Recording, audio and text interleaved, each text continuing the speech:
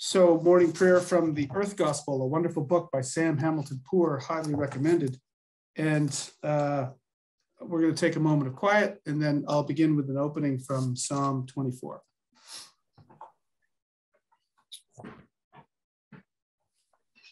The world and everything in it belongs to the Holy One.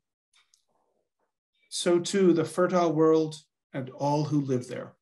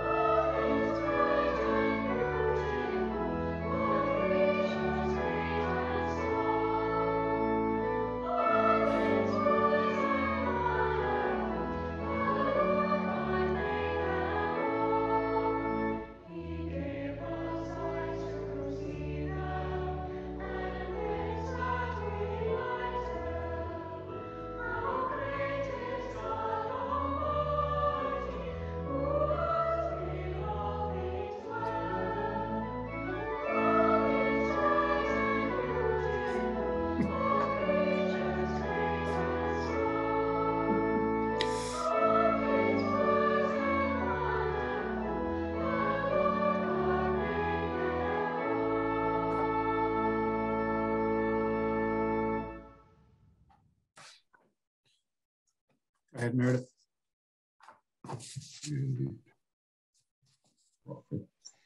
Uh, the scripture reading is from Proverbs 30.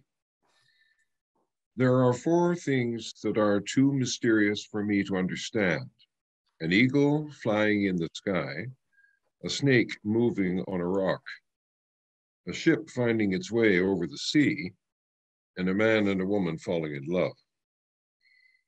There are four animals in the world that are small, but very, very clever. Ants. They are weak, but they store up their food in the summer. Rock badgers. They are not strong either, but they make their homes among the rocks. Locusts. They have no king, but they move in formation. Lizards. You can hold one in your hand but you can find them in palaces.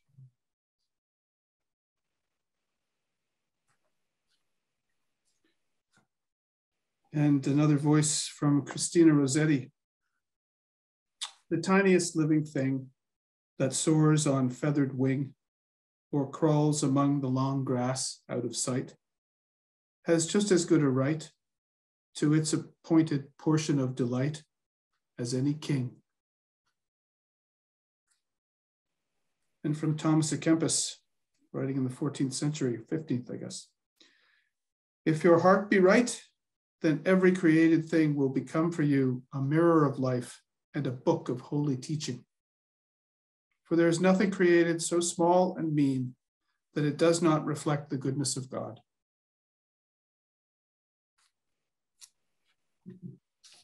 We'll take two minutes of silence to reflect on these readings.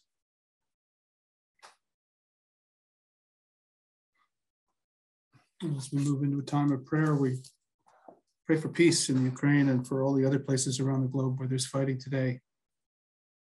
Pray for those who work for peace that their hearts might be strengthened, and those who promote war that their hearts might be changed and healed.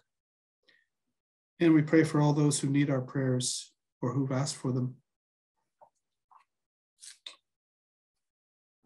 For all things bright and beautiful, for all things dark and mysterious and lovely, for all things green and growing and strong, for all things weak and struggling to push life up through rocky earth, for all human faces, hearts, minds, and hands which surround us, and for all non human minds and hearts, paws and claws, fins and wings.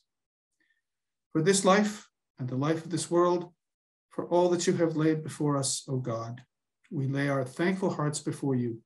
In Christ's name, amen. And a blessing for today with apologies to Cole Porter. Ants do it, bees do it, even earthworms in the ground do it. May you also do it. Be the you in joyful fullness in whom God delights. Amen.